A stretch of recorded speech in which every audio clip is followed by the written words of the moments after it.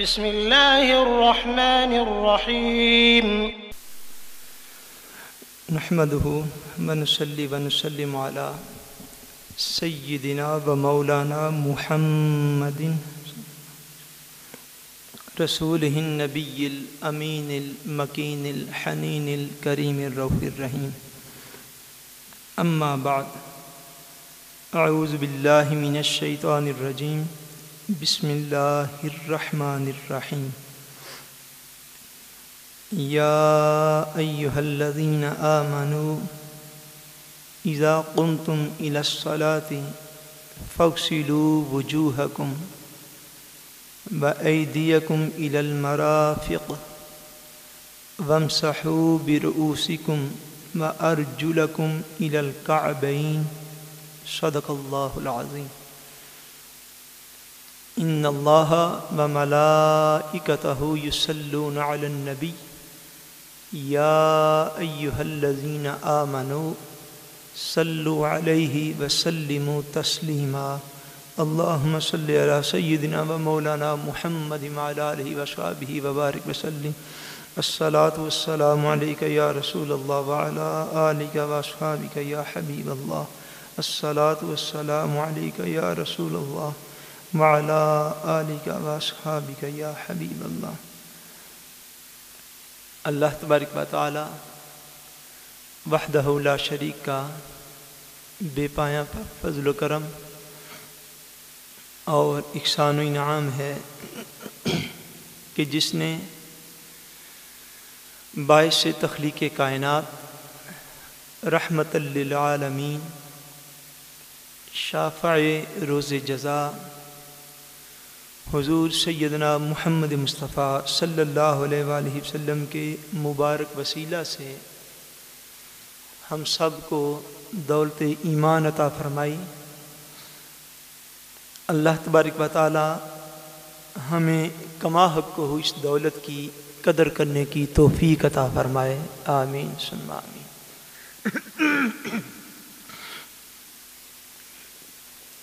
جو گفتگو ہم نے گزشتہ سے پیوستہ جمعۃ المبارک کو شروع کی تھی۔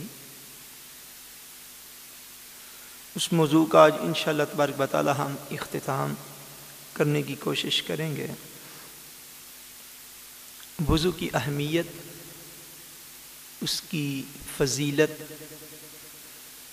اور وضو کے فرائض کا ذکر جو ہے وہ گزشتہ جمعۃ المبارک سے جاری ہے۔ جن میں سے پہلے دو فرائض جو ہیں، ان کا ہم ذکر جو ہے وہ کر پائے تھے۔ اور بقیہ جو دو فرائض ہیں، انشاءاللہ تبارک و تعالی، ان کا ذکر جو ہے وہ ہم آج کی گفتگو میں کریں گے۔ ہم نے عرض کیا تھا کہ الحمدللہ تعالی آج جس ترتیب کے ساتھ امت مسلمہ جو ہے وہ نماز سے پہلے وضو کرتی ہے، بعین ہی ہنڈریڈ پرسینٹ اسی طریق پر نبی کریم صلی اللہ علیہ وآلہ وسلم وضو فرمایا کرتے تھے۔ ہاتھ کے دھونے سے لے کر اور پاؤں کے دھونے تک یہ جو ساری ترتیب ہے، اس کے اندر چار چیزیں جو ہیں وہ فرض کا درجہ رکھتی ہیں۔ اور بقیہ چیزیں جو ہیں وہ سنن کا درجہ رکھتی ہیں۔ ان چار فرائض میں سے پہلا فرض جو ہے، وہ اللہ تبارک و تعالیٰ نے بیان فرمایا فق سلو وجوہ کم کہ اپنے چہروں کو دھو لیا کرو۔ سو چہرے کا دھونا جو ہے، یہ پہلا فرض ہوا۔ دوسرا فرمایا ب دیا کم المرافق۔ اور اپنے ہاتھوں کو کوہنیوں سمیت جو ہے، یہ دھو لیا کرو۔ یہ جو دو فرائض ہیں، ان کا ہم ذکر جو ہے وہ گزشتہ جمعۃ المبارک کو کر چکے ہوئے ہیں۔ حسن اتفاق کہہ لیں کہ ہم نے بھی یہ موضوع شروع کیا ہوا ہے۔ تو گزشتہ جمعے اور اس جمعے کے دوران نے ایک ٹیلی ویژن اسٹیشن اتفاق سے کھولا۔ اس پر ایک صاحب جو ہیں وہ وضو کا مسئلہ جو ہے وہ بیان کر رہے تھے۔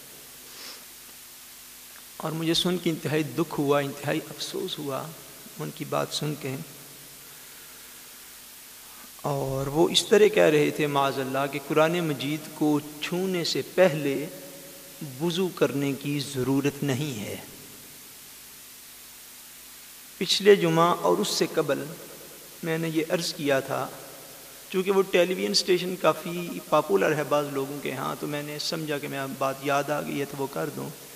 ہم نے یہ عرض کیا تھا کہ قرآن مجید کو بغیر وضو کے چھوا نہیں جا سکتا۔ اور پوری ذمہ داری سے ہم اس کو بات کو پھر ریپیٹ کر رہے ہیں۔ کہ قرآن مجید کو بغیر وضو کے چھوا نہیں جا سکتا۔ اللہ تبارک و تعالیٰ نے اس کے پیارے رسول نے اور صحابہ کرام اس چیز سے منع فرما دیا ہے۔ اس کے اوپر اللہ تبارک و تعالیٰ کا بھی فرمان موجود ہے۔ نبی کریم صلی اللہ علیہ وسلم کا بھی فرمان علی شان موجود ہے اور ان فرامین کی روشنی میں صحابہ کرام کا اعمال جو ہیں وہ بھی تاریخ کے اندر محفوظ ہے اب بات کو سمجھ گئے؟ اب ان صاحب کی میں نام نہیں لیتا، بس بڑی نشانی عرض کر دیتا ہوں کہ ان کے ہزاروں ہزاروں لوگوں کے اجتماعات ہوتے ہیں اور ان اجتماعات میں اللہ اور اللہ کا رسول کا نام سننے کے بعد نعرہ تکبیر بھی کیا، رسالت کا نعرہ تو ویسے ہی وہاں پہ حرام ہے۔ یا رسول اللہ تو کہا ہی نہیں جا سکتا۔ تکبیر بھی بلند نہیں ہوتا، لوگ کلیپنگ کر کے تو تالیاں بجا کے چلے جاتے ہیں۔ یہ میں نے موٹی نشانی عرض کر دی، اب نام لینے کی ضرورت نہیں۔ وہ ڈاکٹر صاحب یہ کہہ رہے تھے کہ قرآن مجید کو چھونے سے پہلے، ہاتھ لگانے سے پہلے وضو کرنا جو ہے، یہ افضل ہے خالی۔ کیا؟ خالی افضل ہے۔ اگر آپ نہ بھی کریں تو پھر بھی چھو سکتے ہیں۔ اس بات کو ہمیشہ یاد رکھیے گا کہ قرآن مجید کو بغیر وضو کے ہاتھ نہیں لگایا جا سکتا۔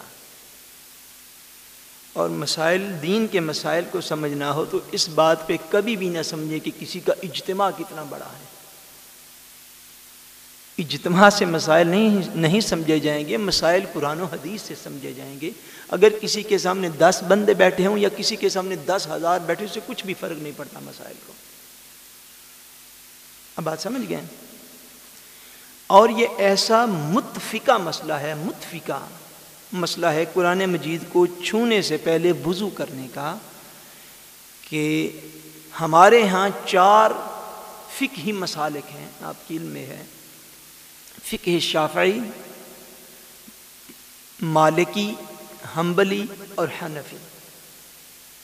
یہ چار فقہی مکاتب مکاتب فکر جو ہیں، ان کے آئمہ جس بات پر متفق ہو جائیں، جس بات پر متفق ہو جائیں، اینی ہو جائیں، ایگری ہو جائیں، جس بات کے اوپر، اس کو کہا جاتا ہے کہ اس مسئلے پر اجماع امت ہو گیا ہے۔ اس مسئلے پر اجماع امت ہو گیا ہے۔ یعنی ساری کی ساری امت مسلمہ اس مسئلے پر ایک رائے رکھتی ہے۔ ایک رائے رکھتی ہے۔ فروئی جو مسائل ہوتے ہیں، فروئی مسائل، ان کے اندر اختلافات کی گنجائش ہوتی ہے۔ ان آئمہ کرام کے آپس میں فروئی مسائل پر اختلافات ہیں۔ اور ان کی گنجائش بھی ہوتی ہے، کوئی کسی رائے پہ عمل فرماتا ہے اور کوئی کسی دوسری رائے پہ عمل فرماتا ہے۔ وہ موضوع نہیں، لیکن میں آپ کی اطلاع کے لیے انفارمیشن کے لیے صرف یہ عرض کرنا چاہتا ہوں کہ قرآن مجید کو چھونے سے پہلے وضو کرنے پر ان سارے کے سارے ائمہ جو ہیں، یہ سارے فقہی مکاتب فکر جو ہیں، حنفی، مالکی، شافعی اور حنبلی، ان سب کے سب سارے ائمہ کا اس بات پر اتفاق ہے۔ اور یہ مسئلہ جو ہے، یہ اجماع امت سے بھی ثابت ہے، جہاں قرآن و حدیث سے ثابت ہے۔ زیادہ افسوس مجھے اس بات کا ہوا کہ وہ صاحب یہ کہہ رہے تھے کہ اس بات کی کسی کے پاس کوئی دلیل نہیں۔ معاذ اللہ۔ دلیل نہیں ہے تو ساری امت متفق کیوں ہیں اس بات کے اوپر؟ اور جہاں پر ان چاروں آئمہ کا اتفاق ہو جائے، اس مسئلے کے موت صد کوئی مسئلہ بیان کرنا، یہ فرقہ واریت کہلاتی ہے۔ یہ اجماع امت کی مخالفت ہو جاتی ہے۔ یعنی اتحاد کرنے کے لیے کوئی ضروری نہیں کہ بندہ اتحاد کے اوپر لمبی چوڑی کانفرنس سے کروائے ہیں یا لمبے چوڑے رسالے لکھ دیں۔ اتحاد کرنے کے لیے ان مسائل کا بیان بھی تو ایک لازمی چیز ہے کہ جن مسائل پر ساری امت مسلمہ متفق ہے، آپ اس سے بالکل الگ ہٹ کے ایک مسئلہ بیان کر دیتے ہیں تو وہ اتحاد کہاں گیا؟ صدیوں سے صدیوں پہلے جو علماء گزرے ہیں، کتنے عرصہ پہلے میں عرض کر رہا ہوں؟ صدیوں پہلے۔ جو علماء گزرے ہیں، انہوں نے بھی اپنے بکس میں یہ لکھا ہے کہ اس بات پر امت کا اتفاق ہے اور ہمارے علم میں کوئی ایسا اختلاف نہیں ہے کہ کسی ایک بھی عالم دین کا اس بات پر اختلاف ہو کہ قرآن مجید کو چھونے سے پہلے معذ اللہ بغیر وضو کے بھی اس کو چھوا جا سکتا ہے۔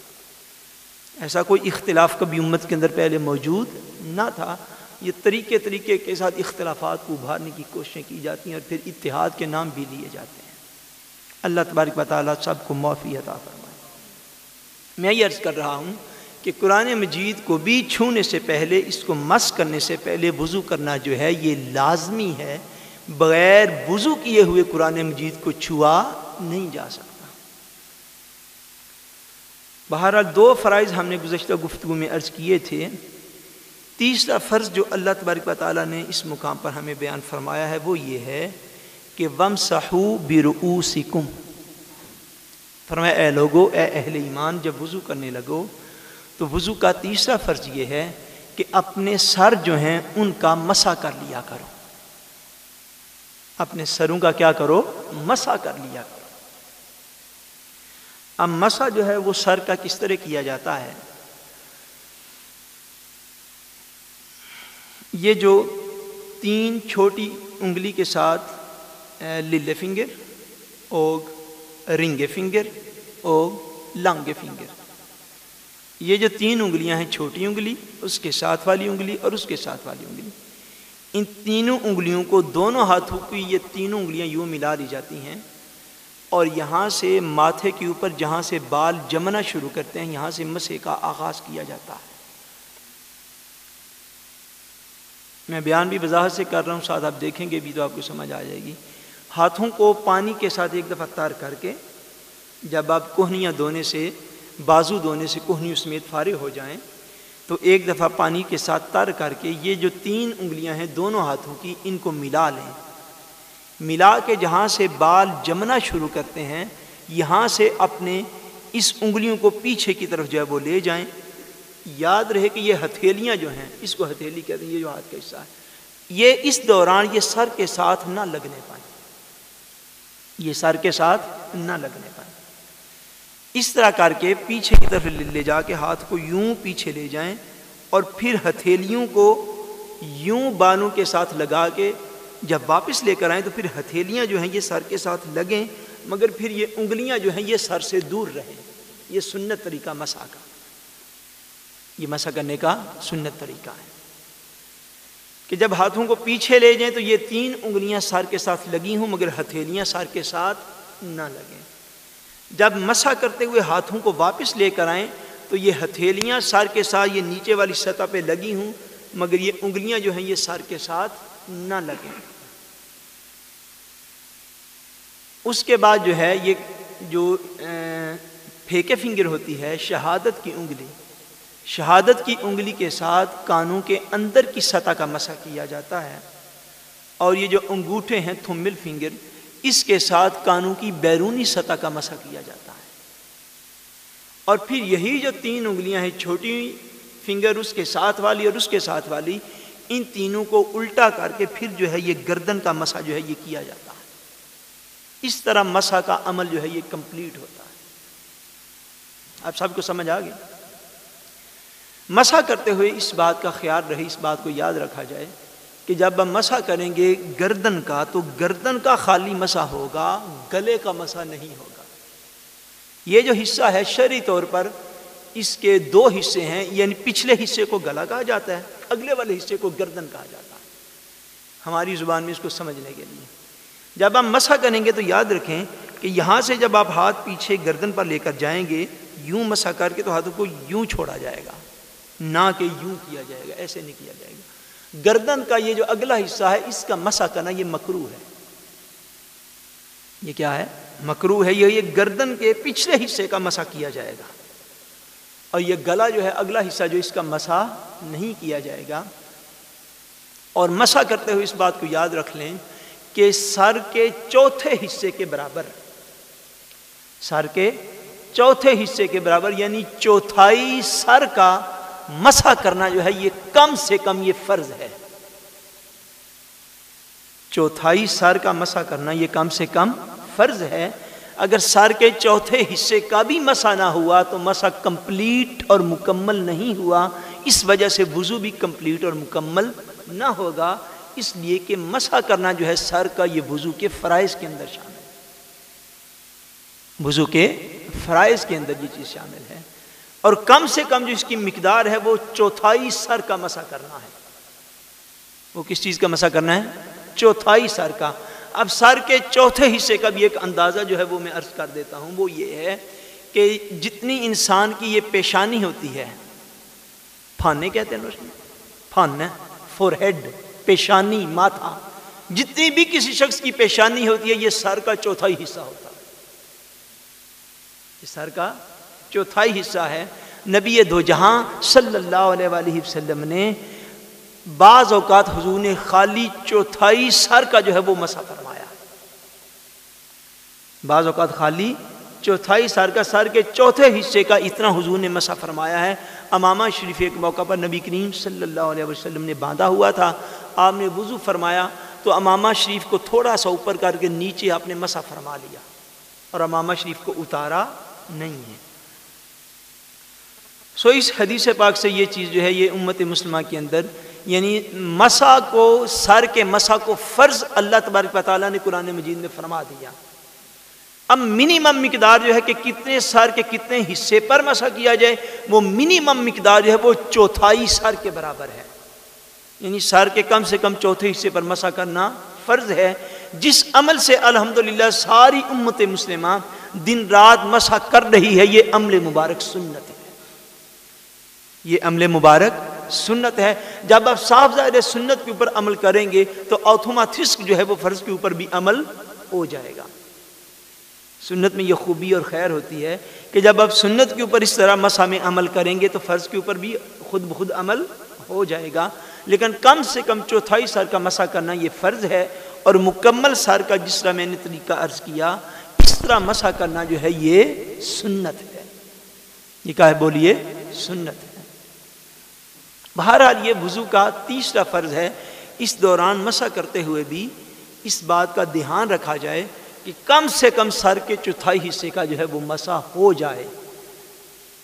اور اگر اب سنت طریقہ کے مطابق انشاءاللہ تبارک تعالیٰ جس سے ہر مسلمان کا معمول ہے مسا کرتے ہیں تو پھر اس میں کوئی ڈاؤٹ اور شک رہ ہی نہیں جاتا کہ پھر جو ہے وہ مسا الحمدللہ پورا مکمل ہو جاتا ہے، فرض جو ہے احسن طریقے کے ساتھ بہترین طریق پر ادا ہو جاتا ہے۔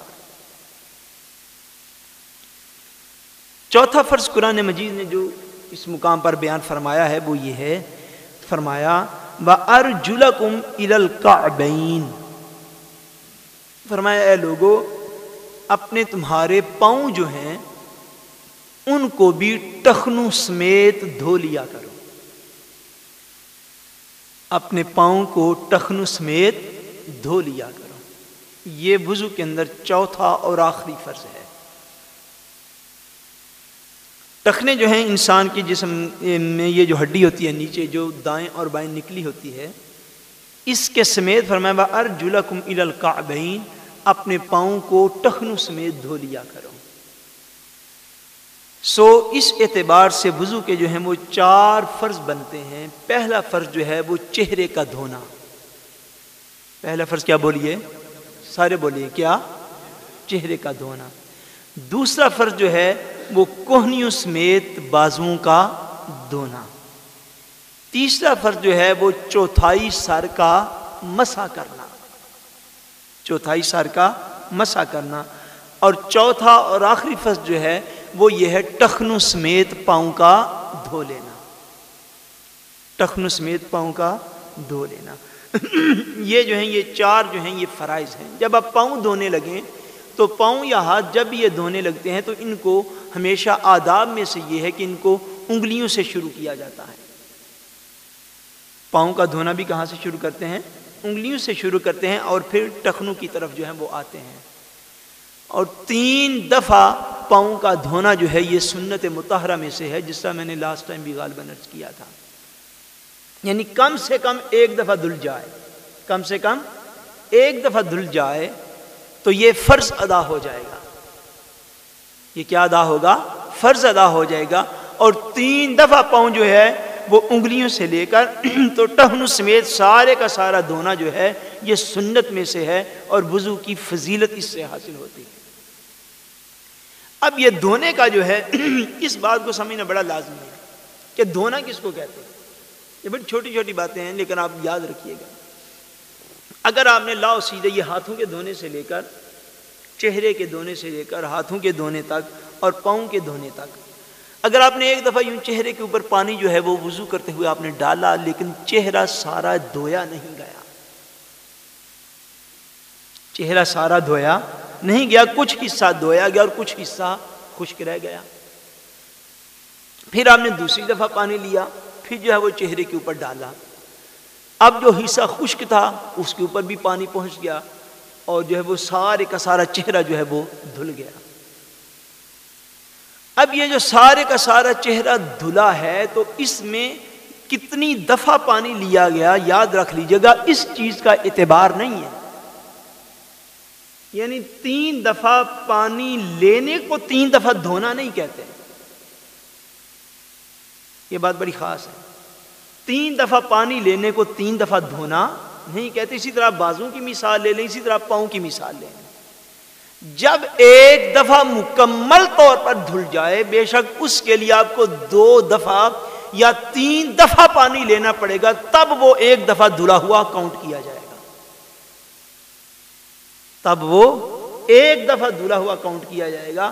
اس لیے جب آپ ہمیشہ سنت طریقہ کے مطابق وضو کریں گے چہرے کو تین دفعہ دھوئیں گے، بازوں کو تین دفعہ دھوئیں گے، جس سے کہ الحمدللہ ساری امت کا عمل ہے، پاؤں کو تین دفعہ دھوئیں گے۔ تو اگر کوئی کمی، بیشی رہ بھی گئی تو آپ نے تو غالباً اپنی طرف سے تین تین دفعہ دھو لیا، لیکن اس سے کم سے کم یہ نتیجہ ضرور انشاءاللہ برآمد ہوگا کہ وہ اعضاء کم سے کم فرض کی حد تک ضرور دھل جائیں گے۔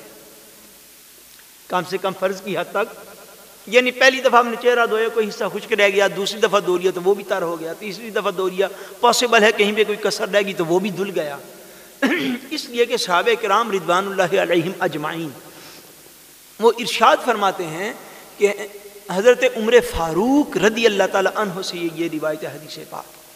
آپ ارشاد فرماتے ہیں کہ ایک دفعہ ایک شخص وضو کر رہا تھا اور وضو کرتے ہوئے اس کو ناخن برابر جگہ اس کے پاؤں میں خشک رہ گئی۔ کتنی جگہ؟ بولیے نا۔ ناخن برابر یعنی انتہائی معمولی انتہائی معمولی جگہ اس کی پاؤں دھونے کے اندر خشک رہ گئی۔ نبی کریم صلی اللہ علیہ وآلہ وسلم نے اس کو دیکھ لیا۔ مسلم شریف کی حدیث پاک ہے۔ حضور نے ارشاد فرمایا، جاؤ واپس جا کے اپنے وضو کو دہراؤ اور پھر جا کے نماز ادا کرو۔ یعنی چونکہ پاؤں کا دھونا جو ہے، یہ وضو کے اندر فرض میں سے ہے۔ پاؤں کا دھونا وضو کے اندر فرض میں سے ہے چونکہ اس لیے فرض میں اگر معمولی کمی بیشی بھی رہ جائے گی تو وضو کو مکمل نہیں سمجھا جائے گا۔ وہ چہرے کا دھونا ہو، وہ کوہنیوں کا دھونا ہو، وہ سات چوتھائی کا مسا کرنا ہو یا وہ پاؤں کا دھونا ہو، اگر انتہائی معمولی جگہ بھی خشک رہ جائے گی تو تب وہ جو ہے وہ فریضہ ادا نہیں ہوگا۔ اس لیے فریضہ تب ادا ہوگا جب مکمل طور پر آزاد دھل جائیں۔ گے اس لیے جب بھی آپ سنت طریقے کے سنت طریقہ کے مطابق وضو فرمائیں گے، وضو کریں گے، تو اس سے کم سے کم آپ کو یہ فضیلت ضرور حاصل ہو جائے گی کہ وضو ہو ضرور جائے گا۔ ادروائز اس میں پانی لینے کا اعتبار نہیں ہے، عزو کے دھل جانے کا اعتبار ہے کہ وہ صحیح طریق پر دھلا گیا۔ اس لیے اگر کوئی بندہ مکمل طور پر، مکمل طور پر نبی کریم صلی اللہ علیہ وآلہ وسلم کے وضو کی طرح کا وضو کرنا چاہے تو اس کو یہ چاہیے کہ جب پہلی دفعہ بھی وہ کوئی عزو دھوئے چہرہ دھوئے بازو دھوئے پاؤں دھوئے تو اس میں اتنی احتیاط کرے، اتنی احتیاط کرے کہ پہلی دفعہ سے ہی مکمل طور پر وہ عزو جو ہے وہ دھل جائے۔ جب دوسری دفعہ ڈالے پھر اور فضیلت حاصل ہوگی، تیسری دفعہ ڈالے تو پھر اور فضیلت حاصل ہوگی۔ لیکن اس بات کو ہمیشہ یاد رکھے کہ کم سے کم جو حد جو ہے وہ شریعت نے مقرر کی ہے اس کا اہتمام جو ہے وہ لازمی طور پر کیا جائے۔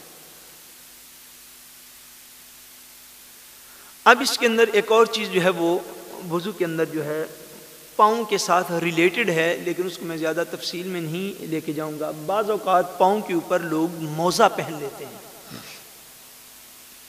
بعض اوقات پاؤں کے اوپر موزہ پہنا جاتا ہے جو کہ لیدر کا ہوتا ہے۔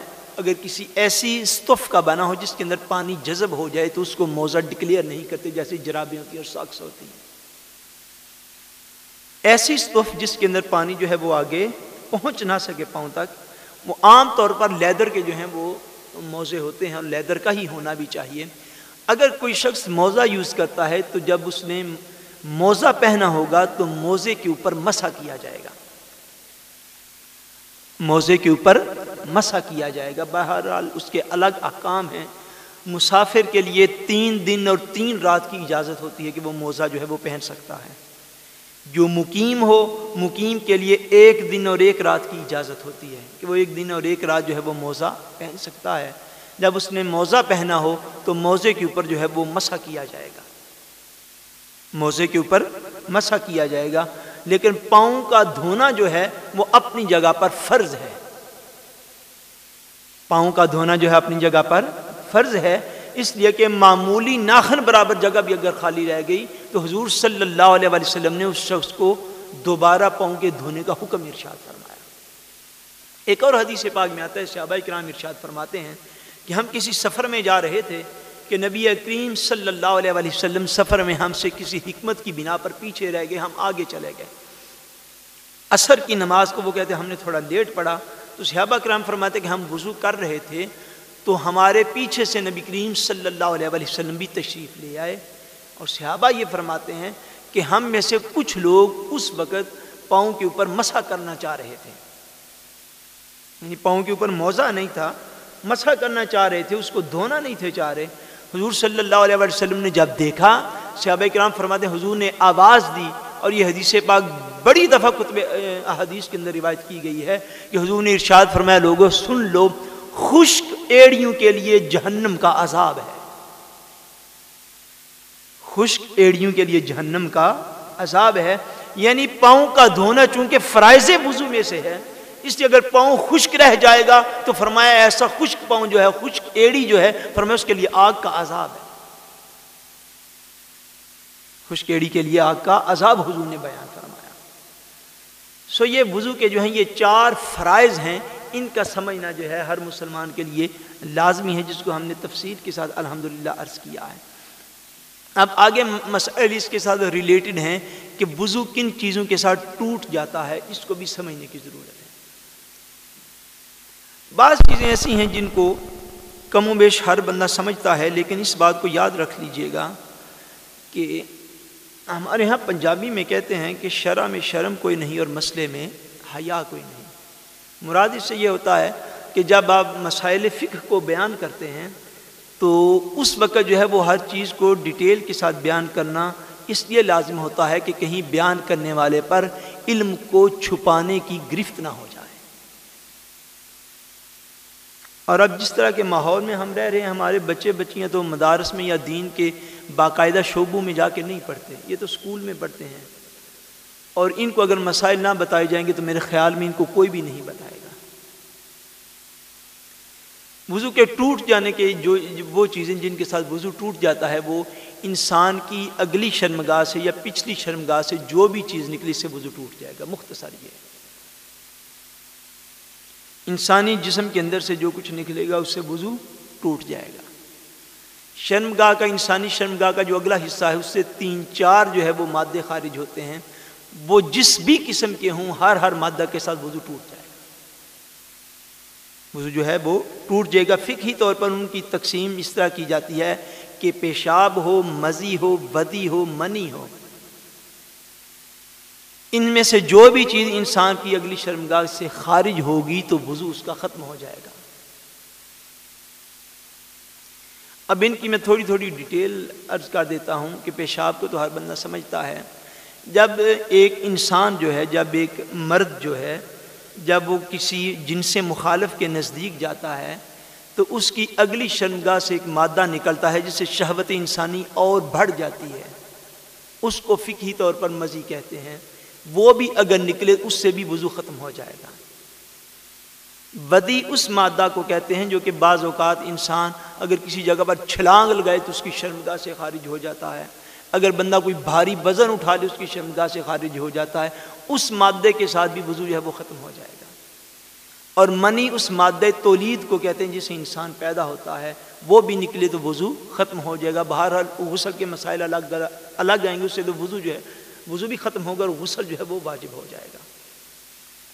یہ تو عام عام چیزیں جس کو ہر شخص جو ہے وہ سمجھتا ہے۔ علاوہ اس کے اگر انسان کے جسم سے خون نکلے تو خون کے نکلنے سے بھی وضو ختم ہو جائے گا۔ بلڈ کے نکلنے سے بلڈ کے نکلنے سے وضو جو ہے وہ ختم ہو جائے گا۔ یعنی خون جسم سے اتنا نکلے کہ جس سے خون نکل کے تو بہ جائے۔ خون نکل کے بہ جائے، اگر بالکل معمولی سا نکلا کہ جدھر نکلا، ادھر ہی وہ پھر جو ہے وہ جم گیا۔ بعض اوقات ایسا ہوتا ہے کوئی ہلکی سی چیز نکلتی ہے، ایک دو ڈراپس جو ہیں وہ بھی نہیں باہر نکلتے۔ یعنی خون نکلا، یوں کوئی چیز لگ گئی خون جو ہے وہ ادھر سے نکلا، ادھر ہی جم گیا، لیکن بہ نہیں گیا۔ اگر خون بہا نہیں تو وضو جو ہے وہ برقرار ہے۔ اگر خون نکلا اور بہ گیا تو وضو جو ہے وہ ٹوٹ گیا۔ وضو جو ہے وہ ٹوٹ گیا۔ اسی طرح جب آپ وضو کر رہے ہوتے ہیں یا وضو کے بعد اگر کوئی انسان ہمارا دوست مسلمان ایسا ہے کہ جس کے دانتوں سے خون نکلتا ہے، اگر مسوڑوں سے خون نکلتا ہو تو اگر جب بندہ تھوک رہا ہو، تھوکے بندہ، اور اگر خون جو ہے وہ تھوک کے پانی کے اوپر غالب ہو جائے، تھوک کے اندر جو پانی ہوتا ہے، اس کے اوپر اگر خون غالب ہو جائے تو وضو ٹوٹ جائے گا۔ اگر خون غالب نہیں ہے تو پھر وضو برقرار رہے گا۔ اور اس کی پہچان کا طریق یہ ہے کہ اگر بندہ تھوکے زمین کے اوپر، تو اگر خون، اگر تھوک جو ہے وہ زرد رنگ کا ہے، تو اس کا مطلب ہے کہ تھوک میں پانی زیادہ ہے اور خون کی مقدار کم ہے۔ اور اگر تھوک جو ہے وہ سرخ رنگ کا ہے تو اس کا مطلب ہے کہ تھوک کے اندر پانی کی مقدار کم ہے اور خون کی مقدار زیادہ ہے۔ سو اگر تھوک سرخ رنگ کا گرے گا تو اس کا مطلب ہے کہ خون اتنا بہ گیا ہے کہ جس سے وضو جو ہے وہ ختم ہو گیا ہے۔ جس سے وضو جو ہے وہ ختم ہو گیا ہے۔ سو خون کے نکلنے سے اور خون کے بہنے سے جو ہے وضو جو ہے وہ ختم ہو جاتا ہے اور نئے سرے سے وضو کو کرنا پڑتا ہے، وضو ٹوٹ جاتا ہے۔ اگر کسی شخص کو منہ بھر کے کہہ آئے، منہ بھر کے کہہ آئے کھانستے ہو اگر کوئی شخص کرے، منہ بھر کے اگر وہ کھانستے ہو کرے، تو منہ بھر کے کھانستے کرنے سے، کہہ کرنے سے بھی انسان کا وضو ٹوٹ جاتا ہے۔ منہ بھر کے کہہ کرنے سے بھی وضو جو ہے وہ ٹوٹ جاتا ہے۔ بعض اوقات ایسا ہوتا ہے کہ بندہ پانی پی رہا ہے تو پانی پیتے پیتے اس کو جس کو ہم اپنی زبان میں کہتے ہیں لینگویج میں کہ ہوتا آ گیا اس کو۔ یہ جس کو ہم کہتے ہیں نا ہوتا آ گیا پانی پیتے پیتے اس سے وضو ختم نہیں ہوگا۔ اس لیے ختم نہیں ہوگا کہ وہ پانی زیادہ سے زیادہ سینہ تک بھی نہیں پہنچتا یا میکسیمم سینہ تک پہنچتا تو واپس آ جاتا اس حالت میں یہ جو ہے وضو جو ہے وہ ختم نہیں ہوگا۔ اس کے کے ساتھ وضو ختم ہوگا کہ جو پانی یا کھانا ایک دفعہ میدا کے اندر چلا گیا، تو میدا سے واپس ریٹرن ہوا، تو اس کو وہ ایسی کیا ہوتی ہے کہ اگر ایسی کیا منہ بھر کے ہو جائے، اور منہ بھر کے کی تعریف یہ ہے کہ اس کو بندہ تکلفن روک نہ سکے۔ تکلفن روک نہ سکے یعنی ایسی کہہ جو کہ روکی نہ جا سکے، وہ منہ بھر کے کہہ کہلاتی ہے فقہی طور پر۔ وہ کہہ اگر ایسی صورت میں جب کہہ ہو جائے گی تو ایسی کہہ کرنے سے وضو جو ہے وہ ختم ہو جائے گا، ٹوٹ جائے گا اور وضو کو نئے سرے سے کرنے کی ضرورت جو ہے وہ موجود ہو جائے گی۔ یعنی کہہ کرنے سے جو ہے وہ بھی وضو ختم ہو جاتا ہے، منہ بھر کے کہہ کرنے سے۔ خون نکلے تو خون کے نکلنے سے جو وضو جو ہے وہ بھی ختم ہو جاتا ہے۔ اسی طرح جب انسان باوضو ہو تو باوضو ہوتے ہوئے جب اگر بندہ سو جائے، وضو کی حالت میں اور بندہ سو جائے، تو سونے سے وضو جو ہے وہ ختم ہو جاتا ہے۔ انسان کے سونے سے وضو جو ہے وہ ختم ہو جاتا ہے۔ جب وہ اٹھے گا تو اس کو نئے سرے سے وضو کرنا ہوگا۔ سونے کی قسم سے بندے کے اوپر جو چیزیں تاری ہوتی ہیں، وہ تین قسم کی ہیں، یاد رکھ لیں۔ اس میں بھی اسپیسیفکیشن ہے۔ توجہ کے ساتھ سنیں۔ ایک ہوتے بندے کا اونگنا ایک ہے بندے کا اونگنا ایک ہے نیند کا جھونکا آنا۔ نیند کا جھونکا آنا۔ ایک ہے بندے کا سو جانا۔ ان تینوں چیزوں کے اندر تھوڑا تھوڑا فرق ہوتا ہے۔ اونگ اس چیز کو کہتے ہیں کہ جب بندہ یوں کہہ لیں اس کے اوپر نیند کی ایک کیفیت تاری ہوتی ہے اور مگر وہ دائیں بائیں سے آواز کو سن رہا ہوتا ہے۔ دائیں بائیں سے آواز کو سن رہا ہوتا ہے مگر سمجھ نہیں رہا ہوتا۔ بندہ کہیں بیٹھا ہو، دائیں بائیں لوگ بیٹھے ہوئے باتیں کر رہے ہوں۔ پاسبل ادھر بھی کوئی بندہ اونگ رہا ہو۔ آپ بات سمجھے بندے دائیں بائیں باتیں کر رہے ہوں لیکن اس کے کانوں میں آواز تو آ رہی ہے، پر یہ نہیں سمجھ آ رہی کہ شاہ صاحب کیا کہہ رہے ہیں۔ مگر وہ اپنی جگہ پہ سٹل بیٹھا ہوا ہے۔ اس کو کہتے ہیں اونگنا۔ یعنی احساس بیدار ہو مگر الفاظ کی سمجھ نہ آئے اور نیند کی پہلی کیفیت تاری ہو۔ یہ جو اونگ ہوتی ہے، اس سے وضو ختم نہیں ہوتا۔ عربی میں اس کو ناسا کہتے ہیں۔ دوسری کیفیت ہوتی ہے جس کو کہتے ہیں نیند کا جھونکا آنا۔ وہ اس سے بھی اگلی سٹیج ہے۔ وہ یہ ہے کہ جب بندہ بیٹھے بیٹھے ساتھ وہ احساس آوازیں سن بھی رہا ہو، سمجھ بھی نہ آ رہی ہو، نیند کا غلبہ جو ہے وہ بھی ہو رہا ہو، اور ساتھ اس کا سر جو ہے وہ بھی ہل ہل کے اس کی ٹھوڑی جو ہے اس کے سینے کو لگ رہی ہو۔ ایسی کیفیت تاری ہو جاتی ہے نا؟ ایسی کیفیت بھی جب تاری ہو، اس کو کہتے ہیں نیند کا جھونکا آنا۔ اس کیفیت میں بھی وضو جو ہے وہ ختم نہیں ہوگا۔ ایسی کیفیت اگر کسی کے اوپر تاری ہو جائے تو وضو ختم نہیں ہوتا۔ تیسری کیفیت ہے جس کو کہتے ہیں اکورت نیند کا آ جانا۔ نیند کے آ جانے سے مراد یہ ہے کہ جب بندہ اس کیفیت کے اندر بیٹھا ہو کہ فور ایگزامپل اگر وہ بیٹھا ہوا ہے اور بیٹھے بیٹھے سو گیا ہے تو اس کے بیٹھنے کی جگہ جو ہے وہ نیند ایسی سخت آئی کہ وہ بیٹھتے بیٹھتے گر گیا۔ بیٹھتے بیٹھتے گر گیا اور جو اس کے بیٹھنے کی جگہ ہے وہ زمین سے اٹھ گئی۔ بیٹھنے کی جگہ زمین سے اٹھ گئی۔ یہ وہ حالت ہے کہ اس حالت میں اگر بندہ شکار ہو جائے تو یہ نیند کا وہ حصہ ہے جس سے وضو ختم ہو جاتا یعنی مکمل طور پر، مکمل طور پر وہ بندہ اپنے احساس میں نہیں رہا۔ دوسرا اس کا یوں فور کلارنگ میں اور دیتا ہوں، وہ یہ ہے کہ جب بندہ اس کیفیت میں سو جائے اس کیفیت میں سو جائے کہ اس کو دائیں بائیں سے جب اس کو نیند کا جھونکا آ رہا تھا، جب وہ اونگ رہا تھا، تو اس کو آوازیں آ رہی تھی مگر سمجھ نہیں تھی آ رہی۔ آوازیں آ رہی تھی مگر سمجھ نہیں تھی آ رہی، لیکن نیند اس کیفیت کو کہتے کہ جب آواز کا آنا بھی ختم ہو جاتا۔ جب کانوں تک آواز کا پہنچنا بھی نیند کے غلبے کی وجہ سے ختم ہو جاتا ہے۔ جب اس کیفیت کی نیند ہو تو اس نیند کے ساتھ وضو جو ہے وہ ختم ہو جاتا اس وضو کے ساتھ، اس نیند کے ساتھ وضو جو ہے، بولیے نا، ختم ہو جاتا یا اگر کوئی بندہ کسی چیز کے ساتھ ٹیک لگائے بیٹھا ہے، کسی سرانے کے ساتھ، کسی تکیے کے ساتھ، کسی پیلو کے ساتھ، کسی چیز کے ساتھ ٹیک لگائے بیٹھا ہے اور بیٹھا بیٹھا بس سو گیا۔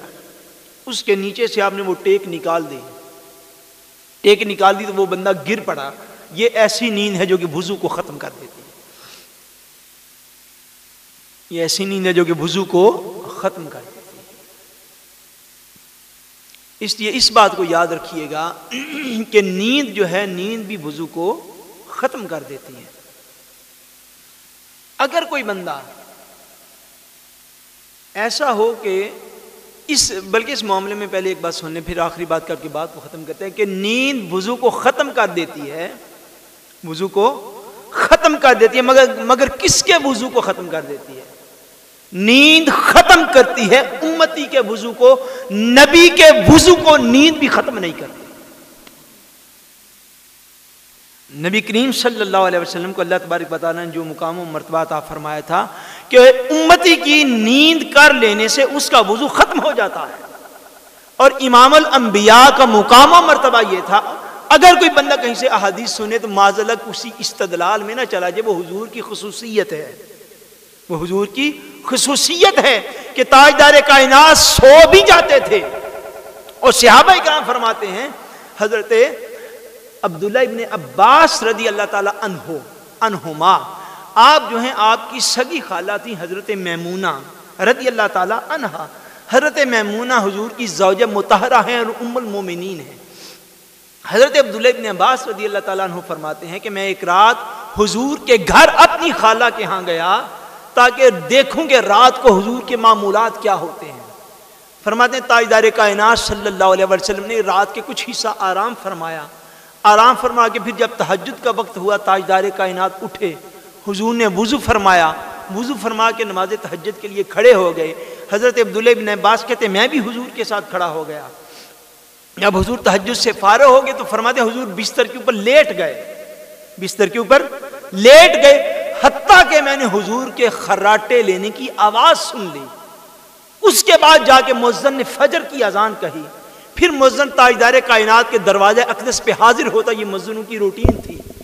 آگے دروازے کے اوپر حاضر ہو کے ہاتھ مان کے عرض کرتے یا رسول اللہ، نماز فجر کا وقت ہوا، چاہتا ہے، آپ تشریف لے آئے فرماتے ہیں حضرت عبداللہ ابن عباس کہ تحجد پڑھ کے تاجدار کائنات لیٹے، حضور کے خراٹوں کی میں نے آواز سنی۔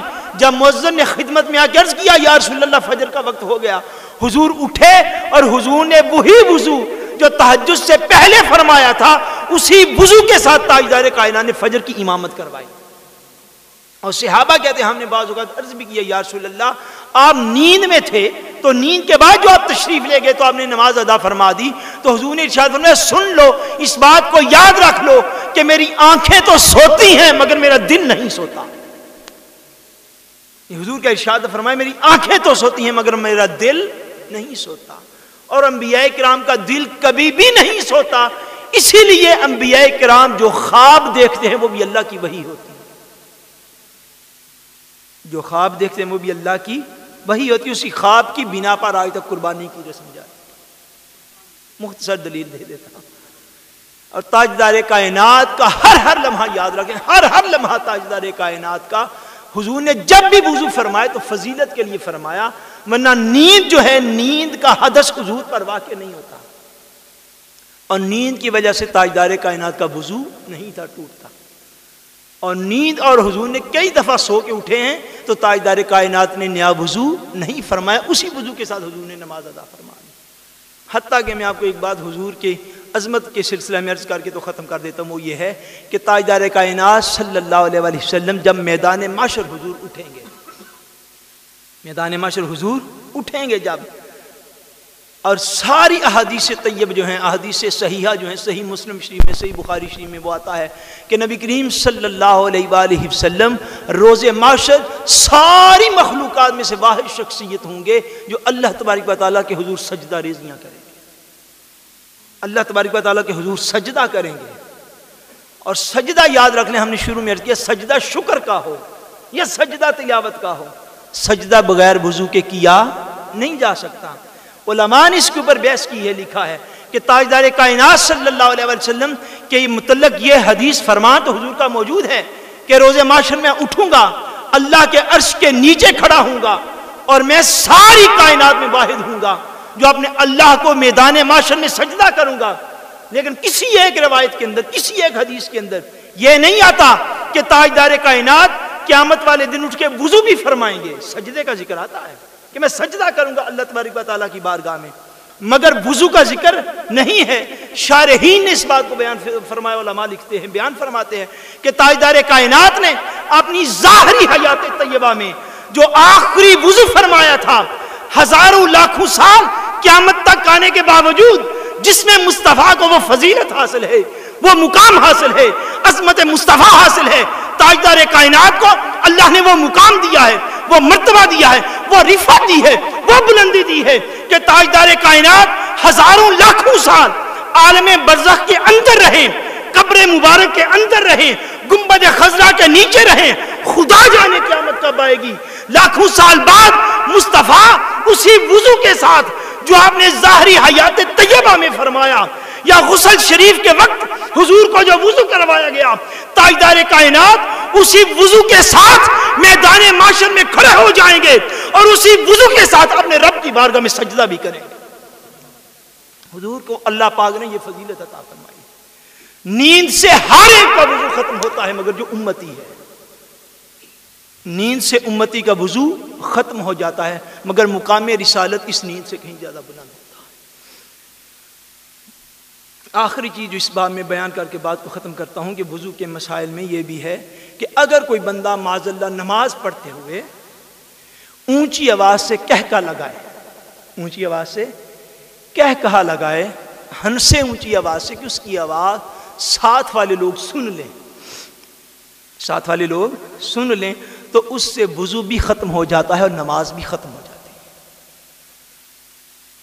وضو بھی ختم ہو جاتا ہے اور نماز بھی ختم ہو جاتی ہیں۔ یہ مین مین چیزیں ہیں جو کہ وضو کے مسائل کے اندر بڑی سمجھنی لازمی تھیں۔ اللہ تبارک و تعالی ہم سب کو سمجھ کی اور عمل کی توفیق عطا فرمائے اور ہم سب کا خاتمہ بالایمان فرمائے۔ وما علینا الا البلاغ المبین